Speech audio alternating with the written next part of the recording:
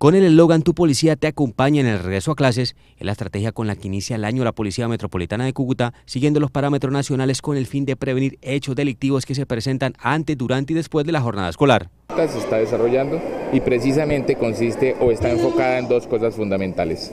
La primera, brindar seguridad en los entornos educativos.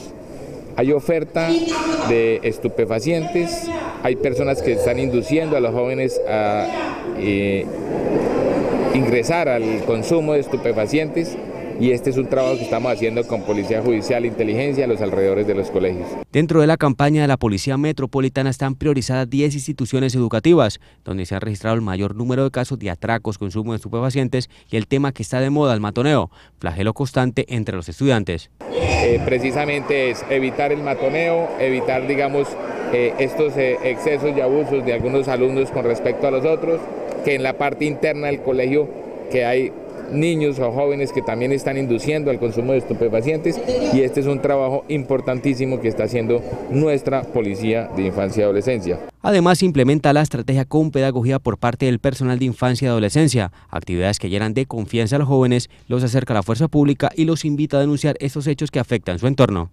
Que consideramos jóvenes en riesgo, jóvenes en riesgo de ingresar a la delincuencia, jóvenes en riesgo de ser eh, los futuros eh, delincuentes de la ciudad y precisamente ese es un trabajo. Es un trabajo difícil, hay muchos niños, hay mucho trabajo que hacer, lo estamos desarrollando de acuerdo a nuestras capacidades, pero consideramos que es un trabajo valiosísimo.